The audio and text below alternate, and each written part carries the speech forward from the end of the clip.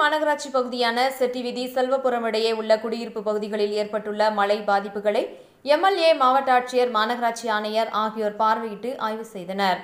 கோவை மாநகர புறநகர் பகுதிகளில் இரவு முழுவதும் கொட்டி தீர்த்த மழையால் பல இடங்களில் நீர் தேங்கிய நிலையில் காட்சியளிக்கிறது. கோவை செல்வபுரம் சுண்டக்காமுத்தூர் சாலையில் மழைநீர் வடிகால் வழிந்து சாலையில் மழைநீர் ஓடி வருகிறது. இந்த பகுதியில் உள்ள செல்வ சிந்தாமணி குளம் நிரம்பி மழைநீர் வடிகாலில் நீர் வழிந்து சாலையில் ஓடுகிறது. மேலும் செட்டிவீதி அசோக் நகர் பகுதிகளில் வீடுகளிலும் நீர் புகுந்துள்ளது. ஐம்பதுக்கும் மேற்பட்ட குடியிருப்புக்குள் மழைநீர் சாக்கடை நீருடன் கலந்து புகுந்துள்ளது.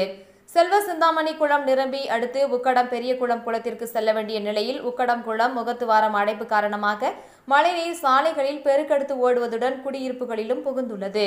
மேலும் கடந்த ஒரு வாரமாகவே கோவையில் மழை பெய்து வரும் நிலையில் அவ்வப்போது குளத்திலிருந்து நீர் வெளியேற்றப்பட்டிருந்தால் மழைநீர் வழிந்து ஏற்படும் பாதிப்புகளை தவிர்த்திருக்கலாம் என்கின்றனர் குடியிருப்பு வாசிகள் கோவை மாநகராட்சி பகுதியிலேயே இந்த நிலை என்பது மழை முன்னெச்சரிக்கை நடவடிக்கையை மேற்கொள்ளவில்லை என்ற எண்ணத்தையும் ஏற்படுத்துகிறது. மழை தொடரும் பட்சத்தில் இந்த குடியிருப்பு வாசிகளின் பாதுகாப்பு என்பது கேள்விக்குறியாகியுள்ளது. உடனடியாக நடவடிக்கை எடுக்க வேண்டும் என்பதே இந்த பகுதி மக்களின் வேண்டுகோளாக உள்ளது.